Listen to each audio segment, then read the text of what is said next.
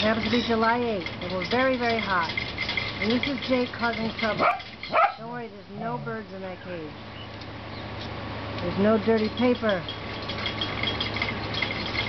Jake's trying to, Jake's trying to bring down the house.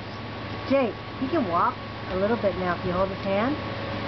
And he can stand up by himself by letting go whatever he's holding on to. He's a troublemaker, okay? I gotta go see what else he's... He's always in trouble, alright? See? Jake, what are you doing?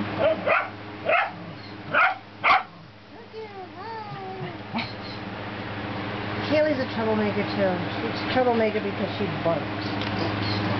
But Jake doesn't care. Sometimes Jake swats her on the butt. What are you doing, Jake? Jake, he's ten and a half months old. See, maybe I can get him to stand up. Come here. Oh, he found his bottle. Break time.